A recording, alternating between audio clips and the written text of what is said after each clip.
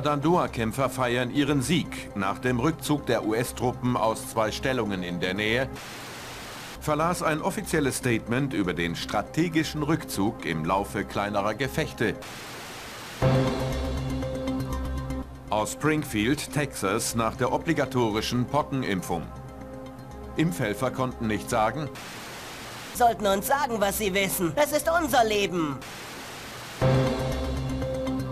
Dramatische Bilder des Senders Freies Indonesien zeigen den Dara Dandoa-Führer Suhadi Sardono mitten im Kampfgeschehen. Es bleibt...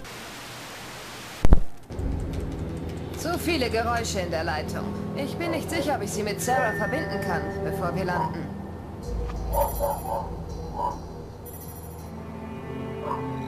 Die Agency-Akt über Pandora Tomorrow ist fertig, wenn du landest. Du hattest recht, es ist Sardonos Lebensversicherung. Wenn er einen Anruf verpasst, wird der Virus freigesetzt. Wir impfen in Springfield, Texas. Aber bis wir wissen, wie viele Behälter es gibt und wo sie sich befinden, müssen wir Sardone wie ein rohes Ei behandeln. Hat Grimm die Anmerkungen zum Pockenvirus geschrieben? Ja, auf ihre Art ist sie eine Dichterin.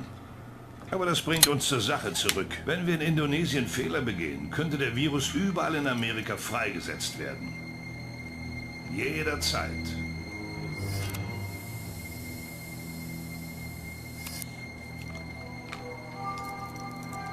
Tut mir leid, Fischer. Ich bekomme Sarah nicht. Ich kann ihr sowieso nichts sagen.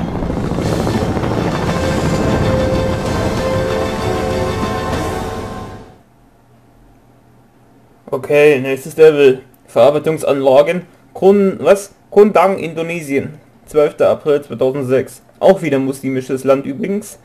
Äh, 1512. Folgen Sie Sadorno und hören Sie seine Gespräche ab. Pandora Tomorrow ist das Codewort für Sadornos Absicherung gegen US-Angriffe. Durch tägliche äh, Anrufe bei unbekannten Kontaktleuten in der USA verzögert was? Er die, also verzögert er die Freisetzung des Pockenvirus um jeweils einen Tag. Wenn er getötet oder gefangen genommen wird, ist die Freisetzung des Virus nicht mehr auszuhalten. Hören Sie Sadonos Pandora Tomorrow Anrufe ab, um die Position der Virusbehälter festzustellen. Und los geht's. Das wird ein äußerst heikler Auftrag, Fischer. Wir führen ihn in Zusammenarbeit mit Displays International durch. Dein alter Freund Douglas Shetland ist mit von der Partie. Gut. Mit Shetland kann ich arbeiten. Was macht Shetland hier? Eine Ghost Army Operation. Er wird dich einweisen. Oh mein Gott, ein Gegner. Was zum Teufel machst du? Die Mission ist beendet. Oh, warum? Sie sind nicht mehr zurechnungsfähig. Was? Ich habe meine Rechnungen immer zufällig bezahlt. Er zusätzlich immer drauf bezahlt. Das kann gar nicht sein. Okay. Was zum Teufel machst du? Die Mission ist beendet. Wieso? Mission gescheitert. Sie sind nicht mehr zurechnungsfähig. Doch, ich kann noch rechnen. 1 plus 1 ist 4. Seht ihr, ich kann noch rechnen. Äh. Hallo, Shetland. Fischer, mein Gott, man trifft dich an den ungewöhnlichsten Orten. Leck. Ich hoffe, nächstes Mal ist in den Staaten. Wird dir gerne ein Bier ausgeben und hören, wie Sarah geht. Lassen wir die Heimat, wo sie ist. Was ist das für eine Ghost Army Geschichte? Psychokrieg. Was? Ein Ablenkung. Während die quatschen, lesen wir uns wieder ein paar Sachen durch. Wir haben keine... Oh doch, das haben wir. Betreff, Agency-Datei über das Kunlang-Lager. Goldenes Dreieck. Ablaut 12.04.2006. 15.15 Äh, Quelle Dims Grimmsortier. Anmerkungen. Sadona hat bereits zu den früheren 90ern Verbindungen zum Drogenhandel im Goldenen Dreieck geknüpft, als er noch ein kleiner Ganove in den Straßen von Kiraban war. 1996 kam er zu, er, was kam es zu ersten Kooperation, als der, was, DO, keine Ahnung, seine Dienste zur Absicherung des Schmuck, Schmuggelopera, der Schmuggeloperation in den Bergregionen anbot. Als die CIA der, keine Ahnung, keine Ahnung, bla bla bla, den Geldheim zudrehte, verdoppelte Sadonus seinen Einsatz im Heroingeschäft und verzehnfachte seinen Gewinn. Ein schönes Beispiel für Sadonus finanziellen Idealismus. Das Lager von Kundang ist eine erschreckend ergebliche Milchkuh, vollgestopft mit Waffen und was will denn entschlossenen Kämpfern? Autor Grimstot hier. Und weiter geht's. Was ist meine Aufgabe? Deine Leute müssten die Einsatzziele haben. Was mich betrifft, so sollst du Sadonos Flugzeug im Lager sabotieren. Naja, wo ich schon mal in der Gegend bin. Danke. Ich habe ein Dutzend Scharfschützen um das Lager platziert. Du wirst sie nicht sehen, aber du solltest sie nicht vergessen. Okay. Also fangen wir jetzt an mit der Mission. Was zum Teufel Was? machst du? Die Mission ist beendet. Hä? Lustig.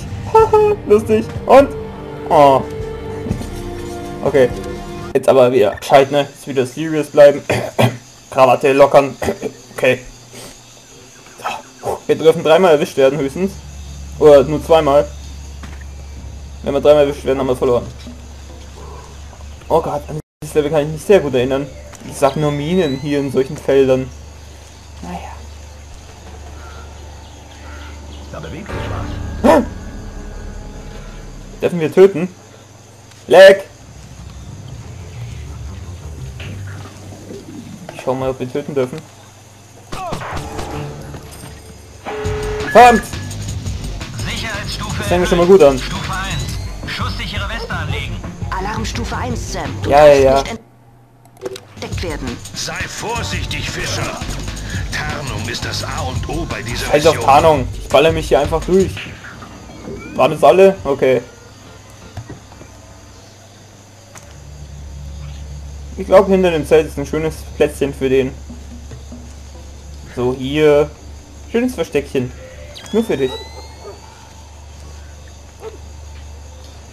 Okay, jetzt weiß ich auf jeden Fall, wir dürfen töten. Yippie! Das wird wieder so eine Mission wie in Paris. Ach, wie schön. Bis auf, dass wir hier im Freien sind. An der frischen Luft. Ah, frische Luft, das tut gut. Da riecht man auch leichter den Gestank von Sam. Und das wird uns dann später zum Verhängnis werden. Okay, hier ist nichts, keine versteckten Minen oder whatever. Und der Sam ist voll des Läufer. Er hat eine Bierflasche oder eine Whiskyflasche in der Hand. Ist hier was? Nee. Doch. Ringgeschoss. Ringgeschoss. Und ein Objekt. Was ist das? Ah, ein Lichtschalter, okay. So, wieder Nachtsicht, damit ihr das seht. Boah, erschreckt mich doch nicht so. Das Level erinnert mich jetzt irgendwie an Osttimor, ein bisschen.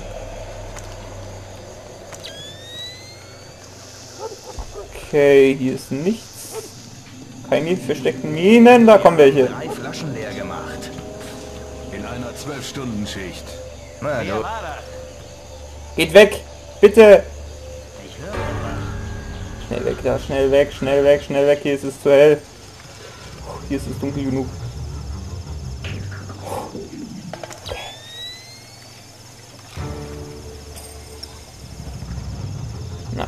Den schaffe ich so.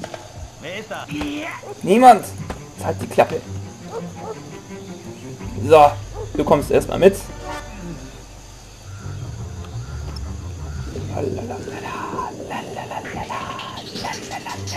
trage hier den Typen rum. So, wo ist es denn hier dunkel? Ich glaube, da vorne war es sehr schön dunkel. Genau da in diesem Häuschen. Genau, hier ist es ein guter Ort für ihn. Ja, hier kannst du dein Nachmittagsschläfchen halten. Oder dein, Nach dein Abendschläfchen. Whatever.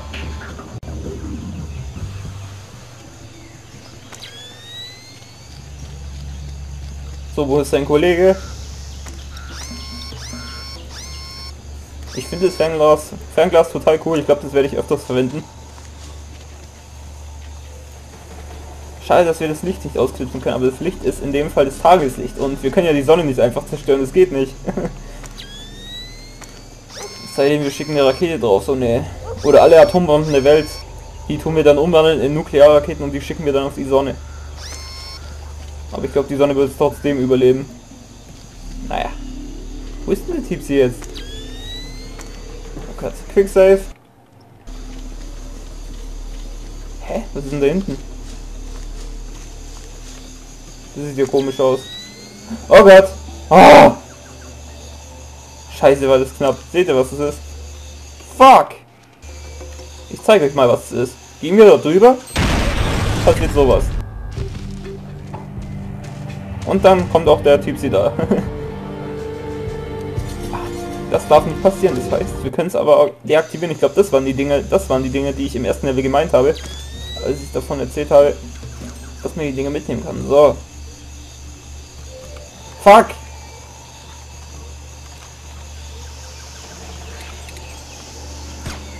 Puh! Ah, das wäre geht, ist super. Und hier ist wieder so ein Ding.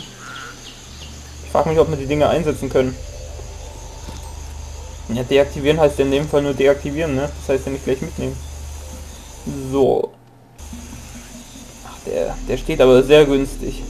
Der muss versteckt werden. So, dann wieder, oh man, wieder ein bisschen Leichen rumschleppen. Läuft. Naja. Das hilft nichts, wir müssen es halt machen. Auf das spielt halt das Spiel. Leider. Aber ich glaube, ab äh, Chaos Theory müssen wir das nicht mehr machen. Also ab dem nächsten Splinter Let's Play, vermute ich mal. Okay, jetzt hoffe ich nur, dass bald die Sicherheitsstufe runter sinkt. Dann wird wir wieder ein bisschen unauffälliger sein können. Oh Gott. Dinge, die sieht man aber auch sehr leicht. Alter. Achso, das sind die schon deaktiviert, okay. So, hier ist noch ein Teil. Ah, jetzt aber. Hä? Also ich muss wahrscheinlich hier an diesem Randding hin. Jawohl. So, wenn ich eins davon entferne, wird das andere deaktiviert. Hier noch.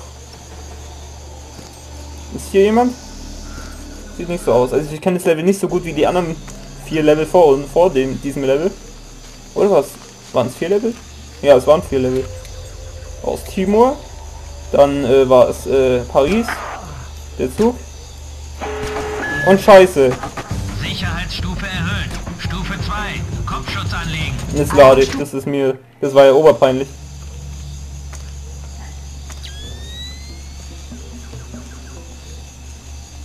Hinter dem Baum zu verstecken ist ganz gut. Aber man kann doch irgendwie die Luft anhalten, habe ich in Erinnerung. Moment, ich will jetzt checken, wie es geht. Irgendwie war es mit STRG, oder? Mit der Umschalttaste? Ne, auch nicht. Wie geht denn das? Ah ja. Rechte Maustaste war das, okay. Rechte Maustaste. Ich wette im ersten Let's Play war es genauso. Naja, hinten sind wieder solche Dinge. Oh, das war knapp. Fast wäre ich da reingelaufen. Sprengsätze am Flugzeug anbringen. Ich glaube, wenn ich das gemacht habe, war ich wieder in der Aufnahmepause. Dann haben wir genug Parts für diese Woche. Da muss es nicht wieder am, äh, am Sonntag wie heute welche hochladen. So. Haben auch ein paar Parts für Samstag und Sonntag und Freitag. Und Donnerstag. Na, Donnerstag hatte ich glaube ich ein Part noch gehabt. So, du kommst mit. Dann können wir ja jeden Tag was hochladen. Da könnt ihr jeden Tag einen neuen Part sehen. Ist doch positiv. Aber ich glaube, wenn ihr diesen Part seht, ist wahrscheinlich schon Freitag oder Sonntag. Oder Samstag, whatever. So, ich glaube, hier ist es ein guter Ort, oder? Ich weiß nicht, hier ist es etwas hell noch. Komm, hier ist es überall hell. Das gibt's doch nicht. Kann ich die Leichen nicht irgendwie äh, an so einem Stahl, nee, an so einem Explosionsding in die Luft sprengen lassen, sodass es dann in mehrere Kadaver zerhackt wird und die, die, die Kadaver dann ich dann äh, irgendwo verstecken kann. Ach egal. Meine kranken Gedanken werden immer kränker. Bald kann ich die Hauptrolle in dem Film Crank machen. Dann spiele ich so den Chef Chilios.